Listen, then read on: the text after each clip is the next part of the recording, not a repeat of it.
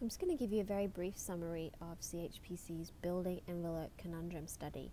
Uh, it was written by Mark Ginsberg, the president of CHPC, and myself, Sarah Watson, um, along with a lot of support from architects on our board and our zoning committee. So, what is the building envelope?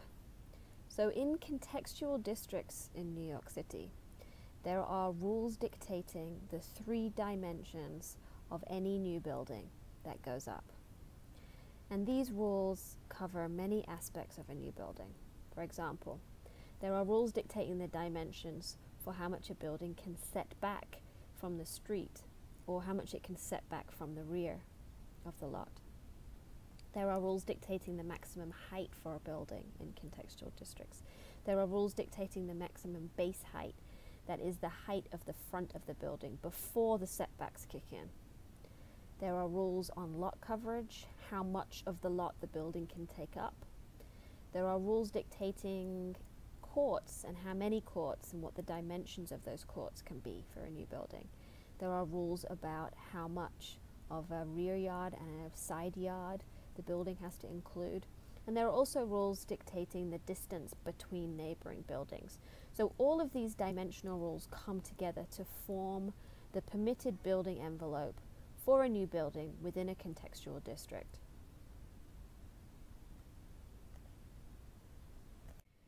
So what is the conundrum of the building envelope? So we had heard from many architects on our board that in recent years they were finding that these dimensions, the building envelope dimensions that are set, were actually being reached before all the floor area for a site had been used. So there are two different rules for a site in a contextual district. You have to apply the limits on the floor area that you can build, but also these three dimensional rules.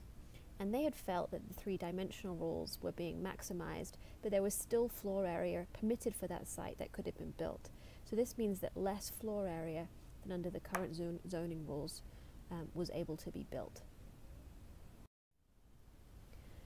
So we really wanted to find a way to test this hypothesis. So we conducted a case study. Uh, we took 17 projects from a number of architects on our board, some recent projects they'd worked on. And we calculated all of the building envelope dimensions for those projects through from the technical drawings.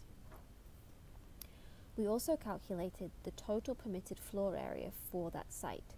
So that is the general floor area that's allowed for the zoning district plus any floor area bonuses that the project was eligible for, minus any deductions, that is, parts of the building that do not have to go towards the calculation for floor area.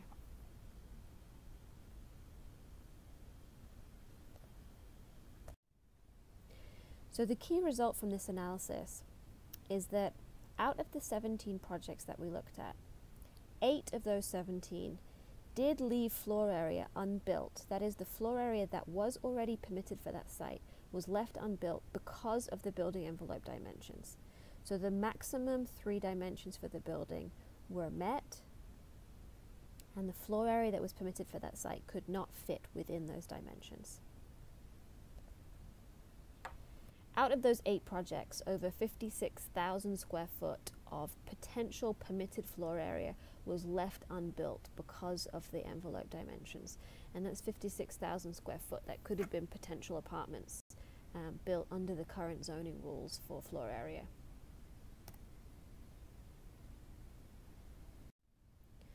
So we were very interested in trying to understand why this was happening um, in recent years.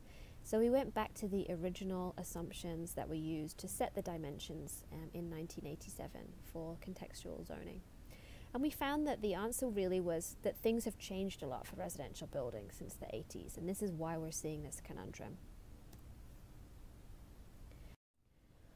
One example is that um, today we have higher floor to floor heights in apartment buildings than in the 1980s.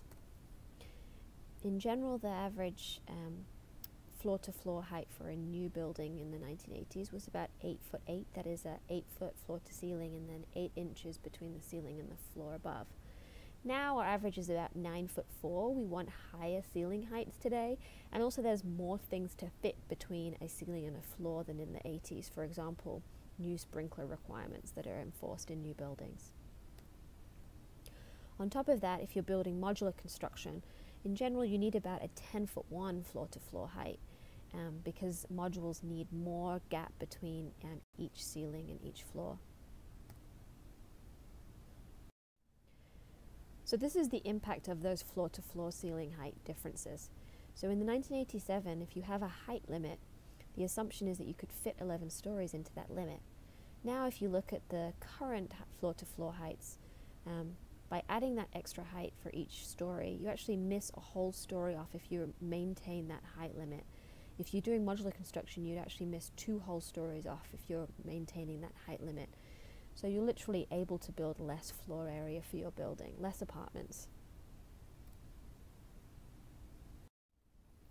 Another example of things that have changed for residential buildings since the 80s is that construction materials and techniques have changed that favor different dimensions.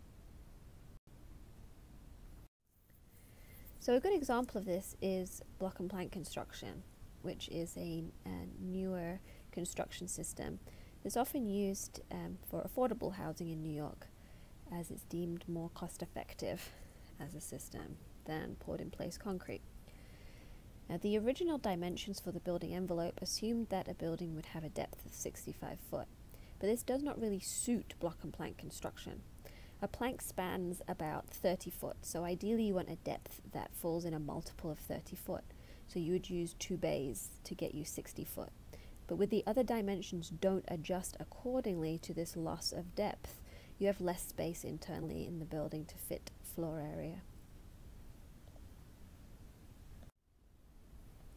Also today, we're building more and more on irregular sized lots as we have less developable land in New York City.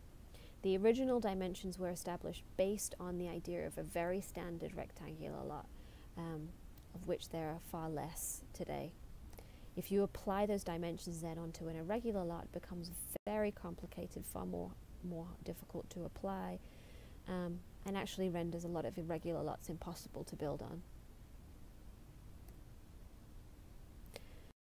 Finally, we do use extra floor area now as an incentive for many public policy goals, um, such as for energy efficiency. If you put thicker walls into a new building, you can deduct that thickness from your floor area calculation. Bicycle parking, you can deduct from your calculation. If you're going through the voluntary inclusionary housing program, you will get extra floor area if you put in affordable housing in your building. So often extra floor area bonuses and deductions are used a lot to achieve certain public policy goals that are deemed very important for residential buildings. And this is harder and harder to fit into the building envelope where the dimensions stay the same. So what could be done to solve this conundrum? Well, we really believe that the dimensions that are set in contextual zones just need to be updated to reflect the new values for residential buildings today. We believe that the concept of contextual zoning and setting the limits for a new building should stay in existence, but each element could be revisited um, in order to add a little flexibility on the envelope, and that is in setbacks, in height, in base height, court requirements, yard requirements, and lot coverage. If you have any additional questions about the building envelope conundrum study, please contact Sarah Watson, swatson at chpcny.org.